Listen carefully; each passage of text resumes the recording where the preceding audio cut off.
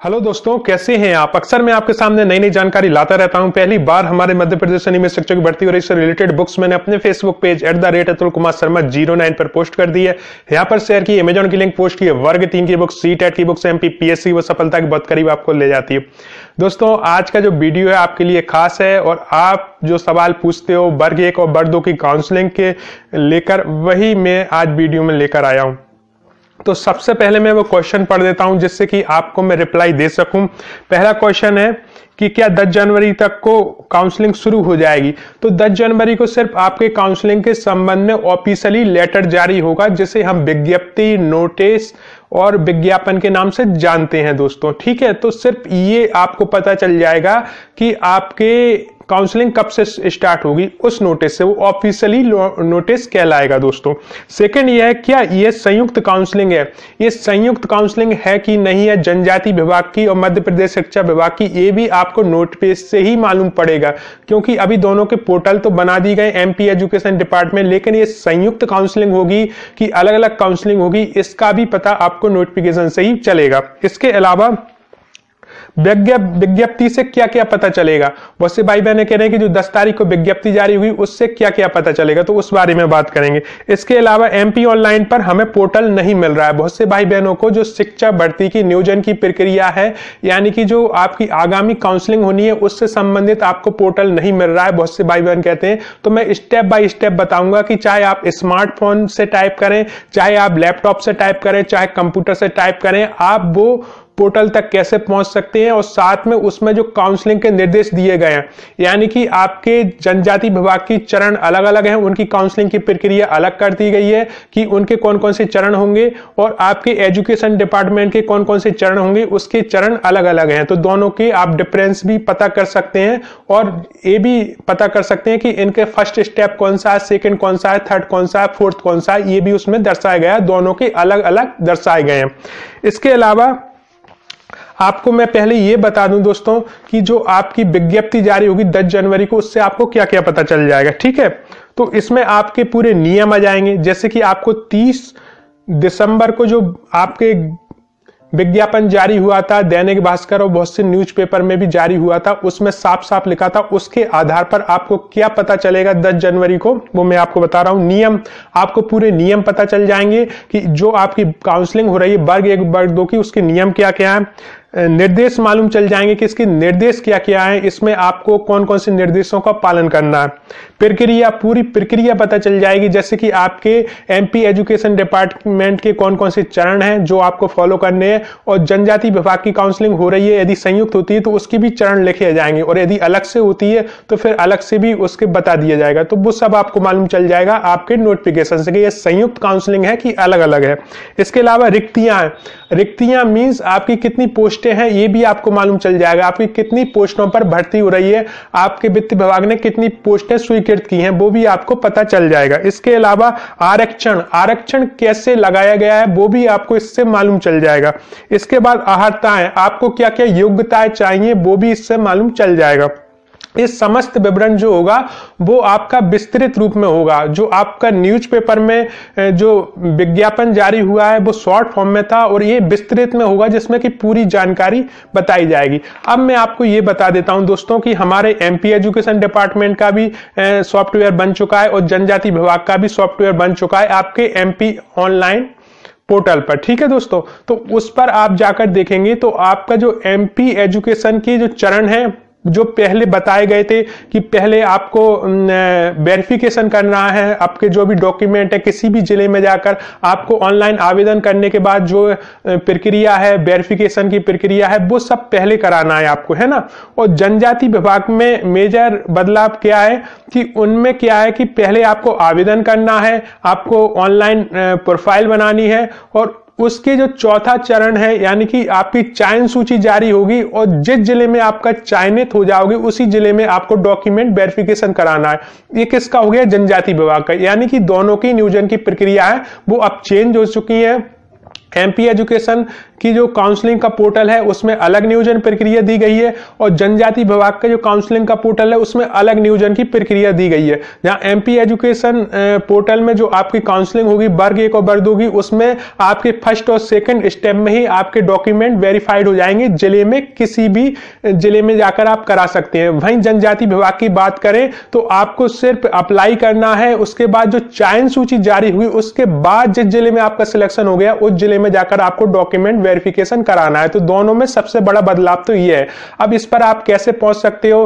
कौन कौन से चरण है? चाहे हम एमपी एजुकेशन डिपार्टमेंट की बात करें और चाहे जनजाति विभाग की बात करें, उसके बारे में मैं अब विस्तार से बताने वाला हूँ। तो आगे का वीडियो बिल्कुल स्टेप बाय स्टेप ध्यान से देखें, जिससे कि आप भी उन नियमों को स्वयं जाकर पढ़ सकें दोस्तों। तो चलें, हम ये जानने की कोशिश करते हैं कि एमपी एजुकेशन डिपार्टमेंट और जनजाति विभाग में क्या मेजर बदलाव हुए हैं और कैसे आप उन नियमों को पढ़ सकते हैं।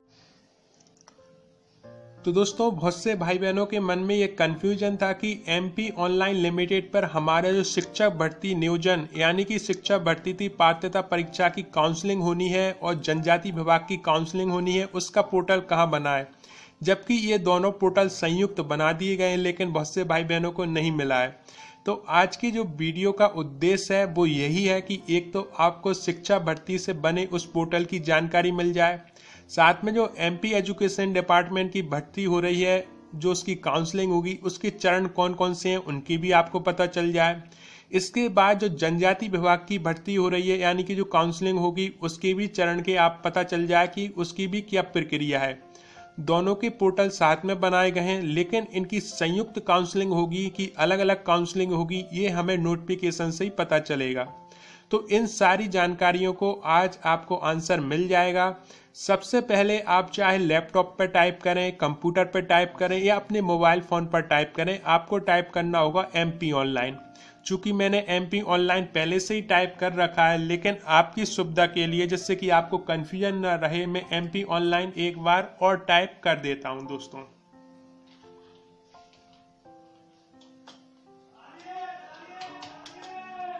और जैसे ही आप एमपी ऑनलाइन टाइप करते हैं तो ये आपके सामने वेबसाइट आ जाती है, यानी कि एम पी ऑनलाइन लिमिटेड अब इस पर आपको क्लिक करना है दोस्तों, और जैसे ही आप इस पर क्लिक करते हैं दोस्तों तो आप देखेंगे कि एम पी ऑनलाइन लिमिटेड की ये वेबसाइट आपके सामने खुल जाती है दोस्तों।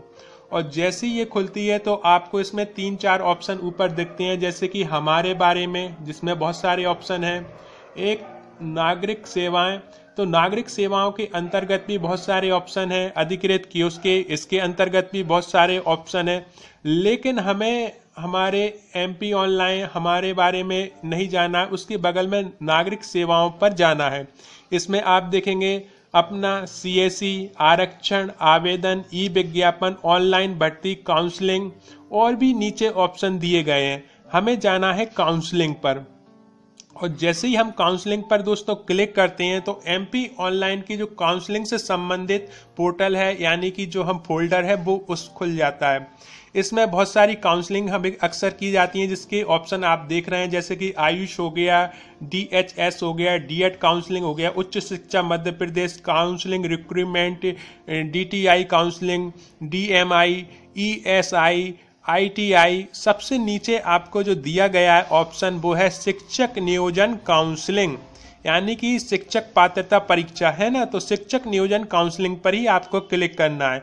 जैसे ही इस पर क्लिक करेंगे दोस्तों तो ऐसा आपके सामने एक और फोल्डर खुल जाएगा। यानी एक और वेबसाइट ओपन हो जाएगी, जिसमें आपको लोक शिक्षण संचालय, मध्य प्रदेश, डीपीआई लिखा हुआ है। पास में लिखा है, आदिम जाति कल्याण विभाग, मध्य प्रदेश। तो ये दोनों की ही फोल्डर इसमें बनाए गए हैं, क्योंकि दोनों की काउंसलिंग होनी है। अब ये साथ में होगी कि अलग अलग होगी, ये हमें नोटिफिकेशन जो हमारा विज्ञप्ति जारी होगी, तभी पता चल सकेगा दोस्तों। लेकिन जैसे ही हम क्लिक करते हैं, पहले हम सबसे पहले कहाँ चलेंगे? अपने मध्य प्रदेश शिक्षा भर्ती पर, है ना? तो मध्य प्रदेश जो लोक शिक्षण संचालन मध्य प्रदेश है डीपीआई उसके अंतर्गत आप देखोगे कि आपको तीन फोल्डर मिल जाते हैं दोस्तों। और ये तीनों फोल्डर हैं आपके वर्ग एक, वर्ग दो और वर्ग तीन से संबंधित। यानी कि उच्च माध्यमिक शिक्षक हाई स्कूल एवं हाई सेकेंडरी, माध्यमिक शिक्षक और प्राथमिक शिक्षक, ये तीनों। तो अभी आपकी वर्ग एक और वर्ग दो की काउंसलिंग होनी है। उससे संबंधित यहाँ पर नियम भी दिए गए यानी कि स्कूल शिक्षा विभाग के दायित्व क्या क्या है? वो भी इसमें दिया गया है और इसके नीचे आपके दिए गए हैं चरण कि कौन कौन से आपके चरण हैं, यानी कि आपकी नियोजन की प्रक्रिया क्या क्या है दोस्तों। तो ये दिया गया है।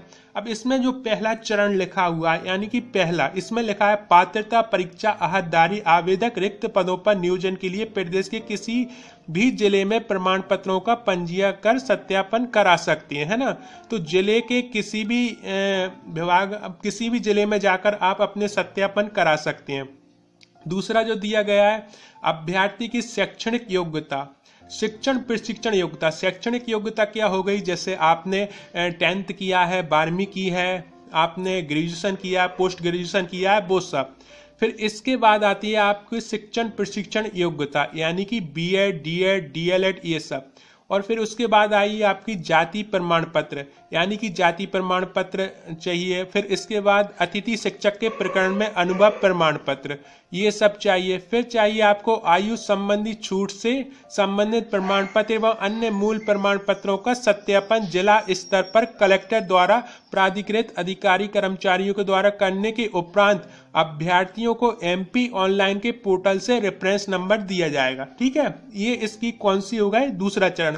तीसरा चरण है, रेफरेंस नंबर प्राप्त करने के उपरांत आवेदकों को नियुक्तिकर्ता अधिकारी को ऑनलाइन आवेदन एमपी ऑनलाइन के पोर्टल से करना होगा। आवेदक एक से अधिक नियुक्तिकर्ता प्राधिकर के अधीन रिक्त पदों के लिए विकल्प का चयन कर सकेगा। तो ये हमारी मध्य प्रदेश शिक्षा भर्ती जो है, उसका नियम हो गए, उसके चरण हो गए, नियोजन की प्रक्रिया। और इसमें ऊपर दिया गया है, जैसे कि आपका उच्च माध्यमिक शिक्षक तो इस पर जैसे ही आप क्लिक करेंगे, चूँकि अभी ये बंद है, कमिंग सून लिखा है, क्योंकि 10 तारीख को हमारा जो विज्ञापन जारी होगा मध्य प्रदेश शिक्षा भर्ती से रिलेटेड तो उसमें वो सारे नियम आएँगे और यहीं भी आपका फॉर्म आ जाएगा, जो कि अभी कमिंग सुन लिखा हुआ है दोस्तों, ठीक है? तो ये सब आप देखेंगे और इसके नीचे आपको इसकी जो नियोजन की प्रक्रिया है, वो भी पूरी मिल जाएगी।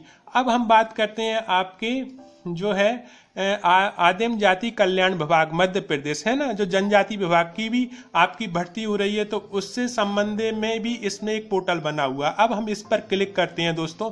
जैसे ही हम इस पर क्लिक करेंगे तो सेम इस पर भी ऐसे ही फोल्डर आ जाएँगे, जिसमें आपके उच्च माध्यमिक शिक्षा लिखा है, माध्यमिक शिक्षक और प्राथमिक शिक्षक। है ना? आदिम जाति कल्याण विभाग के कौन कौन से दायित्व हैं, वो भी यहाँ पर लिखे हुए हैं। और आदिम जाति कल्याण विभाग की नियोजन की प्रक्रिया क्या क्या है, वो भी इसमें दर्शाया गया है दोस्तों, है ना? तो नियोजन की जो प्रक्रिया है, वो आप देखें। इसमें लिखा है, नियोजन की प्रक्रिया, अब हम कहाँ पर आ गए? आदिम जाति कल्याण विभाग की अंदर जो फोल्डर बना है, उसमें। उसमें लिखा है, चयनित उम्मीदवार को अपना प्रोफ़ाइल पंजीयन कराना होगा, काउंसलिंग की प्रक्रिया। तो इस पर आपका जो है प्रोफ़ाइल नहीं बना हुआ है, क्योंकि ये पद जो थे बाद में जोड़े गए थे और बाद में ये संयुक्त परीक्षा बना दी गई थी। पहले ये एमपी एजुकेशन डिपार्टमेंट की परीक्षा थी, ठीक है? अब इसमें आप देख रहे हैं पंजीयन कराना है पहले, फिर आवेदक को रोल नंबर, ठीक है? और रोल नंबर के बाद जन्म तिथि एवं पंजीकृत मोबाइल नंबर पर प्राप्त ओटीपी के माध्यम से अपना पंजीयन कराना होगा, ठीक है? दूसरा इसमें जो चरण है, डॉक्यूमेंट्स अपलोडिंग, प्रोफ़ाइल लॉगिन करने के उपरांत आवेदकों को पहले से भरी गई प्रविष्टि अनुसार डॉक्यूमेंट अपलोड नवीन प्रविष्टि करना होगा। यानी कि नवीन, क्योंकि इस पर आपकी प्रविष्टि पहले से नहीं है, जो हमारे आदिम जाति कल्याण विभाग है ना? अब इसमें आगे तीसरा चरण कौन सा है? Choice filling. आवेदक एमपी ऑनलाइन के माध्यम से विषयवार, जिलेवार स्कूल की प्राथमिकता क्रम दर्ज कर शुल्क भुगतान करने पर च्वाइस लॉक हो जाएगा। चॉइस में संशोधन चॉइस फिलिंग की अंतिम तिथि तक की जा सकेगी।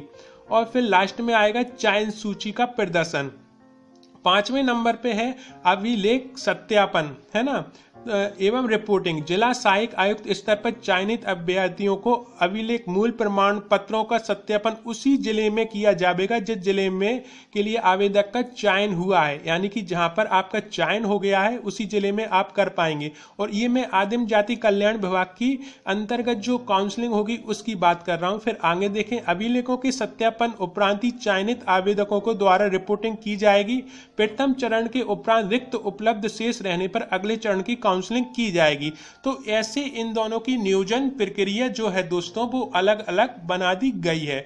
ये जो नियोजन की प्रक्रिया मैंने आपको बताई है, ये है हमारे जो कि आदिम जाति कल्याण विभाग मध्य प्रदेश है, उसके अंतर्गत। और ये आपके आदिम जाति कल्याण विभाग के दायित्व लिखे हैं और इसकी नियोजन की प्रक्रिया लिखी हुई है, जिसे आप स्वयं जाकर पढ़ सकते हैं। ठीक है, अब इसमें हम जैसे पीछे चलते हैं तो दोनों ही हमारे सामने आ जाते हैं और हम लोक शिक्षण संचालय, जो कि एमपी एजुकेशन डिपार्टमेंट की तरफ़ से है, उस पर जैसे ही हम क्लिक करते हैं दोस्तों तो आप देखते हैं कि उनकी जो नियोजन की प्रक्रिया है, स्कूल शिक्षा विभाग के दायित्व कौन कौन से हैं, नियोजन की प्रक्रिया प्रक्रिया कैसी है, वो भी इसमें आपकी दर्शाई गई है। यानी कि दोनों की ही अब अलग अलग जो नियोजन प्रक्रिया है, जो तरीका है, वो इसमें अब बता दिया गया है। तो ये आपको एमपी ऑनलाइन पर मिल जाएगा दोस्तों, है ना? पूरा के पूरा जो पोर्टल है, वो बना हुआ है। लोक शिक्षण संचालन, मध्य प्रदेश डीपीआई यानी कि हमारा एमपी एजुकेशन बोर्ड पोर्टल की जो आपकी काउंसलिंग होनी है, और आदिम जाति कल्याण विभाग, मध्य प्रदेश, जो कि हमारी जनजाति विभाग की होनी है। तो ये दोनों की काउंसलिंग का ये पोर्टल है, जो कि संयुक्त है। अब ये संयुक्त काउंसलिंग होगी कि अलग अलग काउंसलिंग होगी, ये हमें नोट नोटिफिकेशन से ही पता चलेगा। ठीक है दोस्तों? तो ये एक छोटा सा अपडेट था, जिससे कि आप किसी भी कंफ्यूजन में ना आए। दोनों ही विभागों की जो काउंसलिंग है, वो अलग अलग से दर्शा दी गई है दोस्तों। तो दोस्तों आई थिंक आप समझ गए होंगे कि दोनों की जो नियोजन की प्रक्रिया है, उसमें मूलभूत अंतर है। अब ये साथ में आपकी काउंसलिंग होगी कि अलग अलग काउंसलिंग होगी, ये आपकी जब नोटिफिकेशन जारी होगा, उससे हमें पता चलेगा। तो ये वीडियो ऐसा ही था, आपको अच्छा लगे तो लाइक करें शेयर करें और जिन भाई बहनों ने अभी तक चैनल सब्सक्राइब नहीं किया प्लीज़ सब्सक्राइब करें, क्योंकि अक्सर ऐसे वीडियो मैं लाता रहता हूँ। आपने इस वीडियो को देखने के लिए इतना समय निकाला, उसके लिए आपको तहे दिल से धन्यवाद, दोस्तों।